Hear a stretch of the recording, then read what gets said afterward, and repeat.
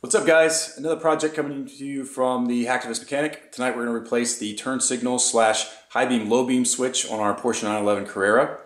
Uh, these are known to be faulty and there's actual way to uh, tweak them so that they do work. We've tried that and have had no success so we're going to go ahead and replace the part. So I'm going to show you what we got going. Alright, here's our new turn signal switch. We got this off eBay. It's made by SWF. It's about $135. Um, what you see here on the side are these gold plated uh, sort of strips. And where they touch each other, which you can't see very well, but where you touch each other are these contacts. And that determines if it's uh, turn signals on, high beam, low beam switch. And they often uh, are faulty, as I mentioned earlier. Um, so we're going to go ahead and replace that and hopefully we'll solve our problems because right now we only have low beams, no high beams. Alright, first thing we're going to do is unplug the negative cable on our battery since we're working on some electrical components. And then we're going to take our steering wheel off. Now I've already moved, the uh, horn pad. And we're going to get in there, I believe it's a 27 millimeter nut that we're going to take off. Uh, and next thing we're to do is going to remove this housing which is right here. Uh, I don't think you can see it very good, but we're going to remove that housing um, there should be about eight screws to take that whole thing off and then two screws to take off this turn signal here. And we're going to slide that back out and unplug that which runs through mostly through this uh, light switch. So we'll see how we get on. Alright, we've got our steering wheel off and as you can see we've got a few bolts to remove. Uh, this is the horn contact right here. We'll take those two off and then there's one, two down here and another two up under there and then two more here on the side one there and then one on the other side take those off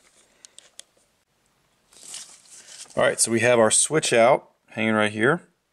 Um, and you can see it feeds through to the back and to this light switch here.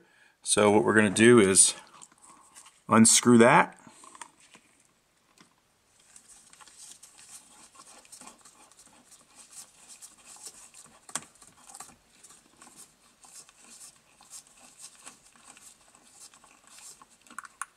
Huh?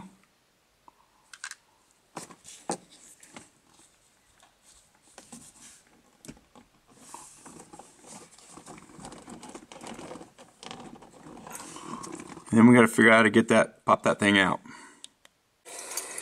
Okay, moment of truth, we got it all wired up.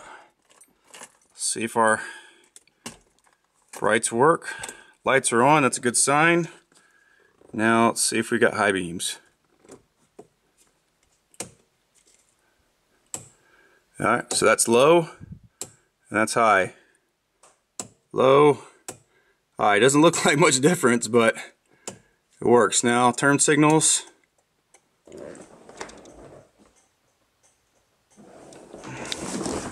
make sure that's working. That's working good.